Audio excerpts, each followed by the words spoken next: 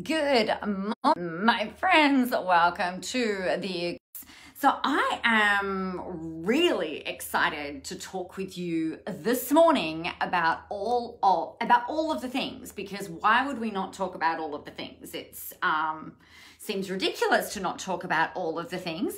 I'm really, really excited. I just it's it's so interesting to me how things all kind of come about. I've just got off a Zoom call with a lady in the US who is very um very smart. Hey Jess about she she does this intuitive painting and then uh, kind of does a reading around it and stuff like that. And those of you who have known me for any length of time know that I kind of have this um, this love of the woo right? We might call it the love of the woo woo, and also very much, hey, Rebecca, happy Wednesday. And, also this very strong need to be very grounded, right? So, the thing that I, I talk about a lot is around, you know, structure and flow. Uh, I talk about trusting yourself. I talk about finding, you know, finding the way for you. And, and what was really interesting for a lot of years, and I'm not talking like just uh, like two or three, many years, I, and this is how it relates to confidence, right? For many, many years, I used to think that there was a certain way that you had to show up a certain way that you had to be, a certain way that we had to run programs, a certain way that we had to do all of the things that we have to do in order for us to be able to deliver the things that we're delivering, right? And and I guess for me, the thing that that I I talk a lot about is for you to find your space, right? So we know that confidence is often something that is is missing or it's like that elusive that elusive dress that you've seen fly through your newsfeed and you're like, oh, I've got to go back and get that, and then you can't find it again, or that great pair of pants, or a, a treadmill, or something that's come through your newsfeed, and you're like, oh wow, yeah, got to do that, and then it like flitters off into the the Facebook sphere, and you've got to try try and find a way to find it again, right? And I know for me that trying to uh, trying to find that thing again can prove elusive or it comes way back in later. Where I'm going with this is that confidence can often be the same thing. It's like we can think that we're just like kind of like, okay, I, I've got this, and then poof, it can go.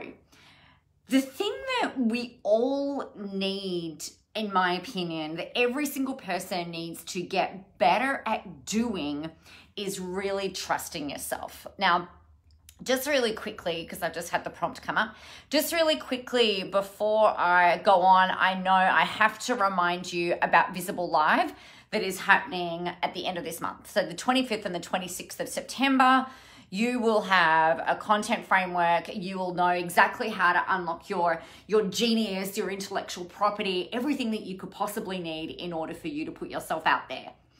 So that that's that. Now, what's really interesting about this uh, intuitive painting thing that this session that I just that I just was was a part of, what was really interesting to me is that how how I am is I used to think it was wrong, right? Now, let me give you some reference. So I've I've been part of entrepreneur groups and, and business owner groups and, and masterminds and, and mentorships and, and all of this, that, and the other for, for the last 10 years. And the thing that I always ad- admired and envied, really, uh, other people for was their their creativity, right? And the way that they could just like seemingly were just able to kind of blah, blah, blah, you know kind of free flow. Where for me, I used to think that there was something wrong with me. I used to think that it that I wasn't at the same level, at the same standard. I used to really get caught up there. Like we know that this this is comparisonitis, right? That's you know that's what we're talking about. When we're looking at other people and we're like so envious of of what they can do or uh, how how they do things and whatever. That's where that's that's comparisonitis in its finest, most annoying form. And I used to beat myself up a lot. It's like, well, this is why I'm not where I want to be. And that's because I don't have the ability to, this is what I used to tell myself. It's like I don't have the ability to kind of channel the information. I don't have enough time and experience in the industry. I don't have a big enough Facebook page. I don't have a big enough audience. I don't have a big enough email list. I don't have, you know, it was always like I don't have. And it was all very much external, right? And I used to feel like that that the people who were seemingly successful were the ones that seemed to just be able to be like super creative or, or whatever else. And for me, I, I used to be really envious and really jealous of that because I didn't place enough value in my own natural abilities. I didn't value those highly enough, even though I always knew that this was something that was uh, really, really important for me. So, the history behind this is I came from a 12 year career in corporate banking and very structured, very rigid. You have to work within frameworks. There are ways of, of, of, of massaging things in order to make it look appealing to, say, a, a credit department and, and things like that. So one of the the things I think for me that was kind of like this hangover of transitioning from something that was so structured that I loved and that I thrived in, I thought to be an entrepreneur or scratch that. I used to think in order to be a successful entrepreneur, I had to be particularly in quotes creative uh, and very um, intuitive, let's say. And I didn't feel like I was any of those things. I honestly did not think that I was creative. And having said that though, you know, I could be creative with a spreadsheet. I could be creative with creating a framework. And and what I did for a really long time was I kind of played down the how much I love structure and frameworks and how they, for me, are the gateway for me to be able to go and do what it is that I do. So, for instance, some of the things that I'll do, it's like this photo shoot that I did last week. And I got laughed at. One of my clients, Dr. Tess Crawley, was kind of teasing me a little bit. I, I did this reel and uh, uh, in the reel, I had some behind the scenes photos. And of course, I had a photo, and this is not it, but I had a photo of the um, the outfit list because I was like, I've got to make sure that I want a good five or six outfit changes. This is what I really need, and this is how I need to do it. You know, so I knew exactly what the the purpose of these photos were. So for me, it's like, all right, I, I get very caught up in story and I get caught up in playing. So if I don't have that structure, I'm screwed because we can run out of time. And I'm like, but shit, I'm still in my first outfit. like, this isn't working for me. I need more time.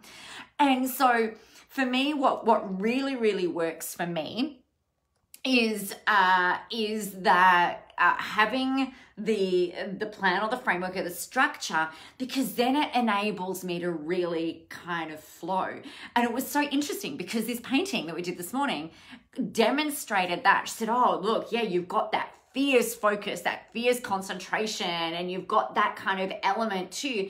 But then that's the thing that, that creates all of that, that flow and that expression. Rebecca, you're very creative and intuitive though. Creativity isn't just art and craft based skills. Yeah, I agree with you now right? I absolutely like I am sold, right? And I don't want a refund. Like I am so I could not agree with you more.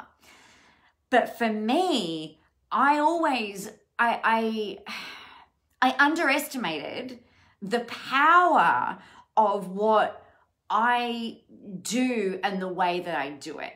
And I think that this is something that's really, really common, right? Because it's it's it's really curious I used to look at people in my industry who were doing things really well. And I'm like, wow, you know, if only I had a, a, tenth of their confidence or a tenth of their sass or a tenth of their wit or a tenth of their intuition or, or whatever, like I'd be freaking flying.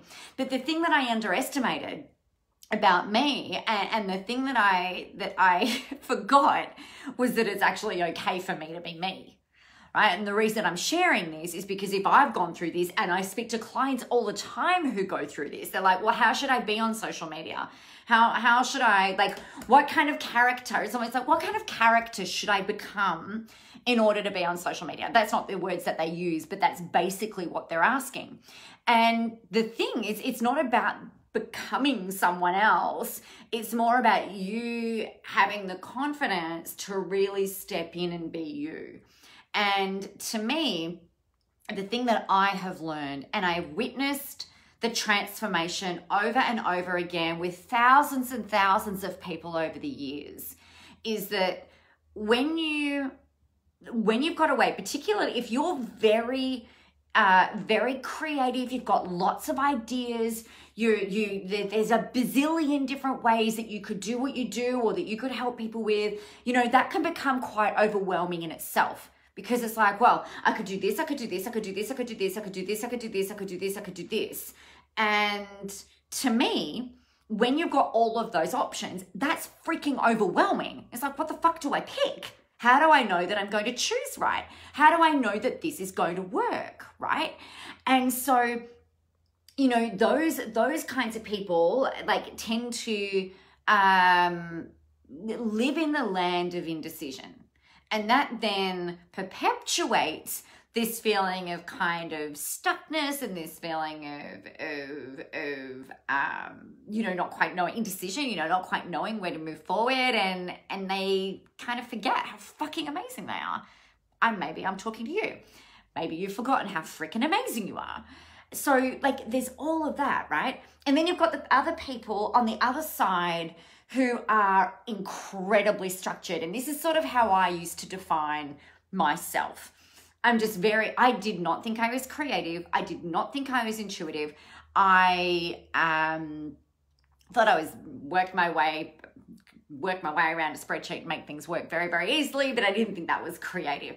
And so, like, I know that there's a lot of people who are like, but I really like to know what I'm going to say, how I'm going to say it, where I'm going to say it, how I'm going to use that. I need all of the steps. I need all of my ducks in a row. I need everything done. I need all, all there.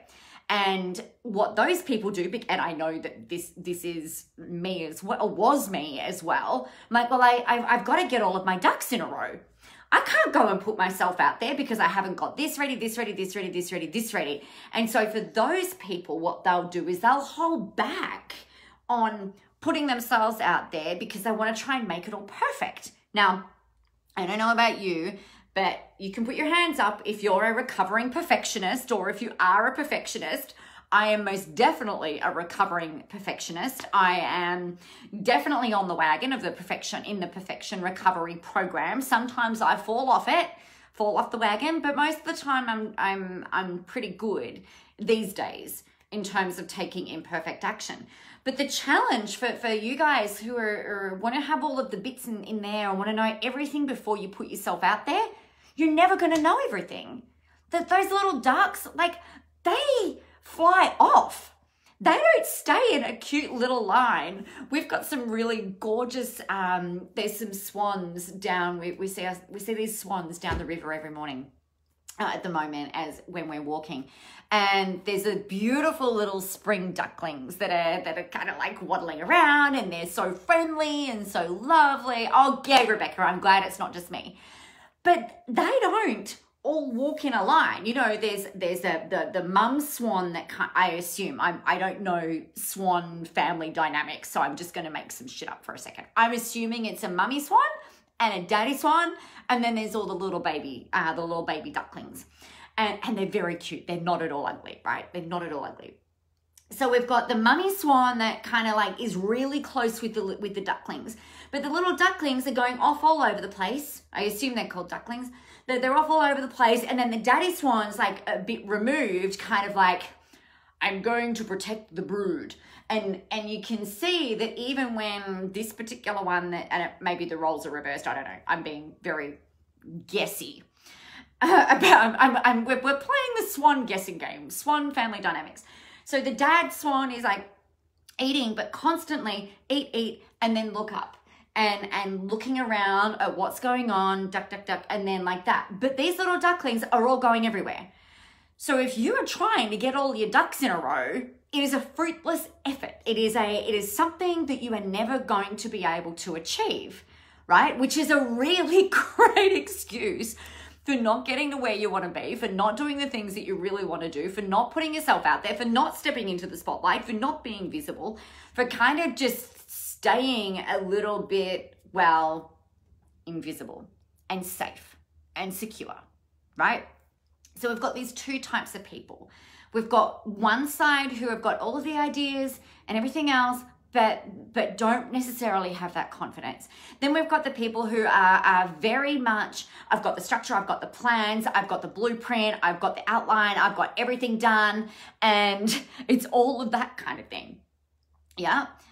Rebecca said there's a meme that says something like, My ducks aren't in a row, I have squirrels and they're at a rave. Yes, exactly right? This is exactly what you know when when a lot of the time people who are very driven by kind of structure that's really what's going on. And by the time you finish the plan and you get your ducks in a row it's like the back ones off over there again. You know they just they just run wild and, and they're, they're a little bit crazy. So how do you you know to me it's like how do you how do you make this work? How do you get past it? For me the thing that i'm fucking amazing at if I can be so bold as to declare to the world what I'm amazing at without being uh, egotistical, without being, what is it, like narcissistic, just the fact of the matter it is, is that I'm fucking amazing at helping people who have got all of these ideas and need a framework and all of these people who are constantly trying to plan, plan, plan, plan, plan to be able to get into a framework that enables you to get out there and do the things that you need to do in terms of growing your visibility, growing your confidence, stepping more into the spotlight so that you can help the people that you really want to help.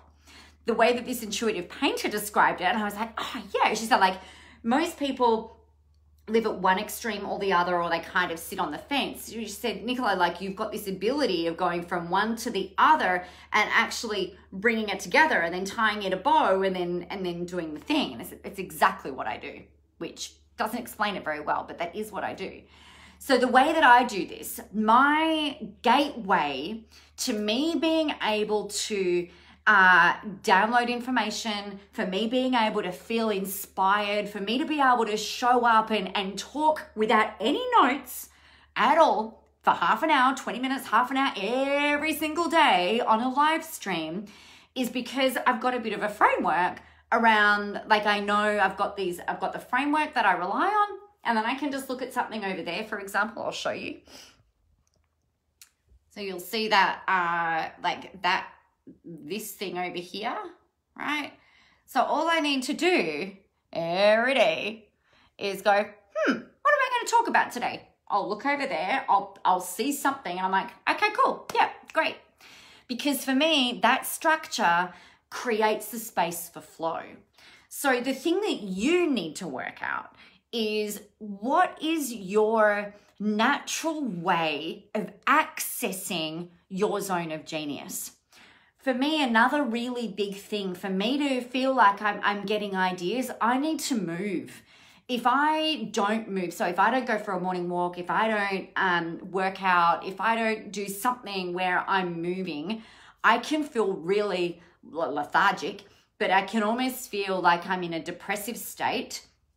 When I'm anxious, if I don't move, that anxiety kind of builds up. So it's a really good, number one, it's a really good release of negative energy for me. And it's also a really, it's when I get my ideas. So, what is it for you? Because you will have your own unique kind of doorway or gateway for you to be able to access all of the information that you want to be able to access, which is basically how you access your intuition. So, some people do this by, um, by learning different things right? So it's it's about being intellectually motivated or sorry uh, intellectually inspired. So that might mean if you know that it helps you to access your your flow state your slipstream your zone of genius to be able to create all these ideas some people get that from studying. Other people get it from movement right? So I'm um, very much a mover. When I uh, like, I always talk with my hands. you you may have been distracted by them. I sometimes get distracted by them. Uh, when I'm on stage, I'm I'm wor- I work the stage, and it's not trying to uh, influence or manipulate anybody. It's just it's literally it's how I can keep the the the, the ideas flowing, right? So movement's another way. Another thing that, that people might use is by making sure that everything is all aesthetically pleasing. So this is another really high driver of mine. I like my house to look very nice. If my house does not look nice, it messes with my head and I will be distracted. So I know for me to be able to get ideas and to feel like I'm operating at maximum efficiency, I've got to have my house needs to be nice and tidy, not OCD, but definitely nice and tidy. I've, I've recovered from the OCD of vacuuming my carpets so that there's lines in them it still makes me so happy, but I don't have to do that now every day. Uh, movement's really important. Studying can be really important, and and and there's other things that there's there's other ways of being able to get in. So for me, again, some people will find journaling is really helpful because if you're just kind of purging the stuff in there or you're asking yourself questions, then that's a really great place to start in order for you to find the, the pathway for you to get your ideas and the pathway for you to actually be able to find the confidence to show up with courage and certainty and to for you to be able to communicate what you need to be able to communicate out into the marketplace. The thing that I have found through the last mm, uh, well, the start of 2019, I started teaching, actually, it was the end of 2018. I started teaching the a, a framework, basically like how you build that thing, right? Which I call a web of awesome. Uh, I I started teaching. I, I, I used it for me first. I developed it for me. I refined the tool, and then I started teaching it to clients, and it blew their minds. And the reason for that is that it's a framework for your marketing, for your intellectual property, for your your creativity to really flow because you've got a framework and a structure in which to work in. You've got prompts. Basically what it does, and this is the other thing I'm really amazing at, if I do say so myself, is pulling ideas out of your brain, getting them onto paper in a way that's logical so that you can then use those ideas to go and be visible to go and step into the spotlight, to go and create content, to go and get clients, to go and write books, to go and build courses, to go and do all of those things that you really, really want to do. And that's the thing that I think is just completely uh, invaluable. And we're doing that at the end of September. So the link is in the comments for that. It is happening on the 25th and the 26th of September. It is a Friday, Saturday. It's only $497 for a full two days, and you'll have your next 18 months at least worth of content mapped out, ready to go, so that you've got that. For those of you who really rely on structure, you've got the structure to create the space for that creativity to flow. For those of you who are super creative and you've got all of these ideas, it gives you a framework to put those in so that you can feel like you can actually action them. So that, that that way it means that all of those ideas don't lie dying a very slow and painful death in the idea graveyard or in the inspiration graveyard, right? It's about using all of that in order for you to be able to get out there and actually do something with all of the amazing sorry about that, that you have got within your brain.